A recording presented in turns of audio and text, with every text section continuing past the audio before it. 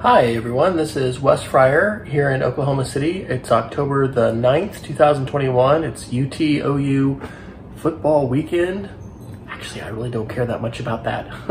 but uh, anyway, that means though, what I do care about is it's our fall break at school. And so, woohoo, we got Friday and Monday off and I've been needing to make this video for quite a while. Um, I'm going to show how to, I guess we would say smoke and roast um, avo avocados, no, eggplant.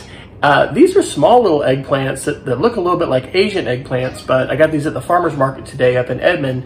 I have made this with regular large eggplants. I, I really do like the thinner uh, Asian eggplant. I forgot the name of this. The farmer was telling me about what, what this little small guy is called. This is a little milder. I think the Asian eggplant's a little milder too. Um, but this is an absolutely great recipe. It is our favorite way to have eggplant now. And it's just so, so easy and fast. So I'm also going to throw in uh, smoked acorn squash just because I'm gonna do it at the same time and I'm making a video, so we're gonna do both of those. All right, so the supplies are, are pretty easy here. Uh, sometimes I'll just do one large eggplant. Uh, we've got a, some guests coming and I'm feeding about six tonight, so uh, I got a little bit more. Probably one of, well, not probably, one of the most important things is cast iron. Um, I, I love this, this cast iron um, skillet. This used, used to be my wife's grandmother's, uh, so it's got like some family history, but it's just a really great seasoned, you know, cast iron skillet. Um, I'm going to be putting some avocado oil. Um, I'm going to put two tablespoons of avocado oil, and I'll season with Mrs. Dash. You can do salt and pepper. We've been cutting salt out of our um, out of our uh, diet, so I, am not going to use that. Um, but that's pretty much it. Um, I, I like tripled the recipe a couple weeks ago. We had our Sunday school class over, and I cooked it in my, um, my Lodge cast iron Dutch oven, uh, with just with the lid off.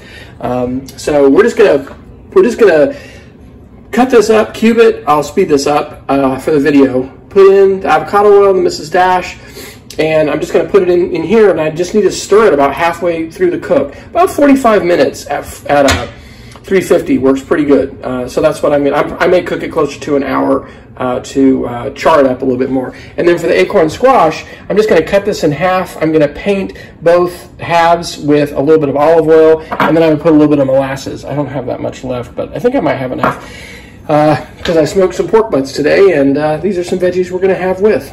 So here we go.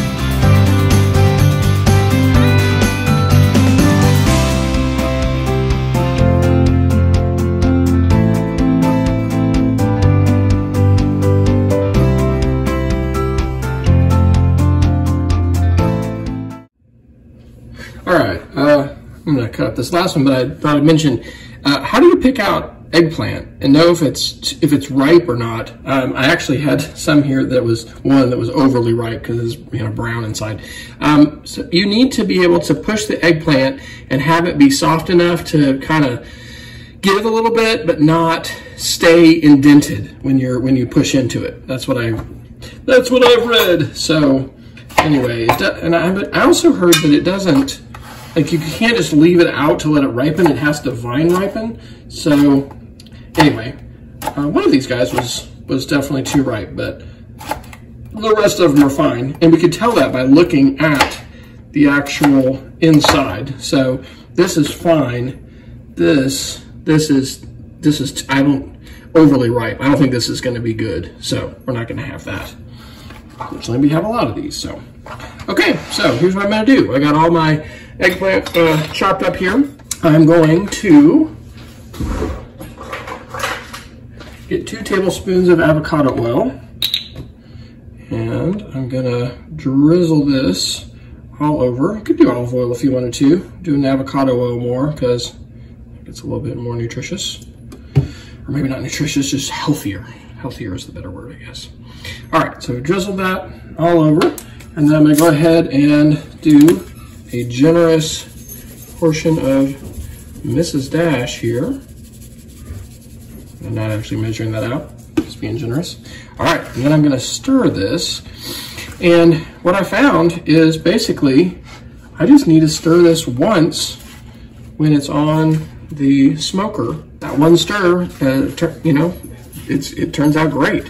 Um, it's gonna uh, saute a little bit on the bottom of the pan. It's also going to saute on the top, you know, because of the smoke and everything like that. So I think uh, for my either Christmas or, you know, probably upcoming gift time, I want to actually get a 12 inch cast iron, but this 8 inch is just awesome. So um, I'll go ahead and prep the um, prep the acorn squash and then we're just to go put this out on the grill.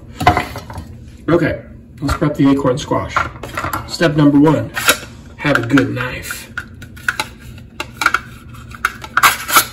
And this is a this is a great chopping knife that my mom got me a while back, and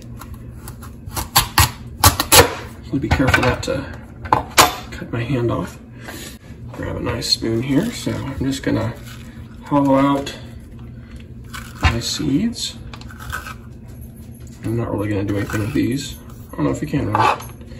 Uh, I'm reading a pretty awesome book about agriculture right now. Um, it's called, what is it, Germs, Guns, and Steel by Jared Diamond. It's like a kind of a Bible of, of geographer knowledge in terms of the way that uh, development happened worldwide. On, uh, anyway, why am I mentioning this? The acorn squash is one of the native plants domesticated here in North America that still is a part of folks' diets, including ours tonight. So there were a lot more, a lot more uh, plants and vegetables that were domesticated in the Fertile Crescent, which is like modern day Iraq uh, in that area of the world. And I don't have these at the tip of my tongue, but I know barley and uh, there was there's a, a kind of wheat those are actually transplants from that area. Anyway, the book seeks to answer why is it that, you know, native people in some some parts of the world were able to develop, you know, steel and gunpowder and and advanced civilization and industrialize and all this and a big part of what it finds is that the native plants that were available to be domesticated had a lot to do with that.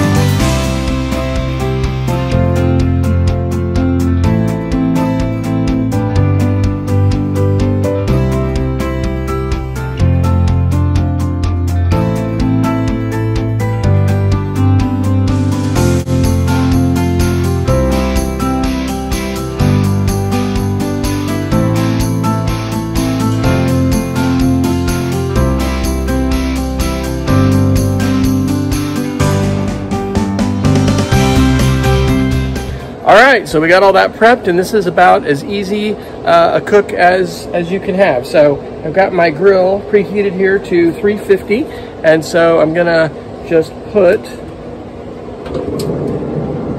just gonna put the eggplant right there, and then for these, see this, acorn squash, just gonna set these here on the smoker.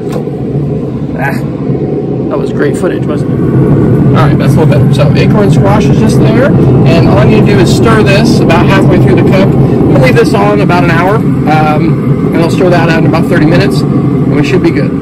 All right, it's been on for an hour and 20 minutes. That is a longer cook than we usually do for the eggplant, but man, that just looks perfect. And we'll uh, cut these guys open and see how the acorn squash Okay, so we're done this has turned out really well. This was cooked actually about an hour and 15 minutes. So, um, man, again, just avocado oil and Mrs. Dash. That's it.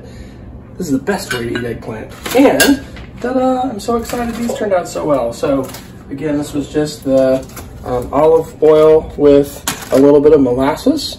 And we did that just so they were, there was less sugar. Um, but, uh, and normally we would just serve these whole.